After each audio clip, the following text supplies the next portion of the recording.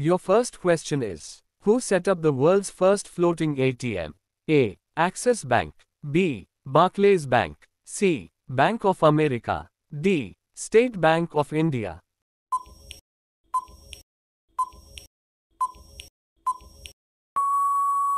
Your correct answer is option D.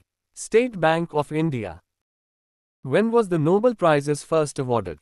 A. 1900, B. 1901, C. 1902, D. 1903.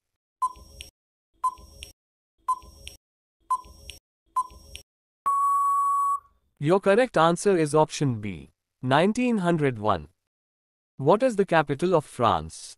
A. Berlin, B. Madrid, C. Paris, D. London.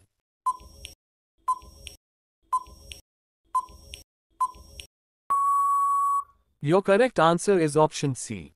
Paris. A scientist who studies water is called A. Geographer, B. Archaeologist, C. Herpetologist, D. Hydrologist.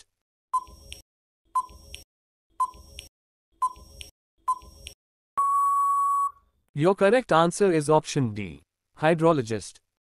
Where is the Indian Institute of Sugarcane Research located?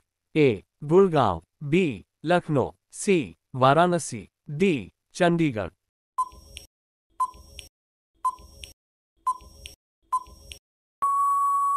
Your correct answer is option B. Lucknow. Thanks for watching. Please like, share and subscribe.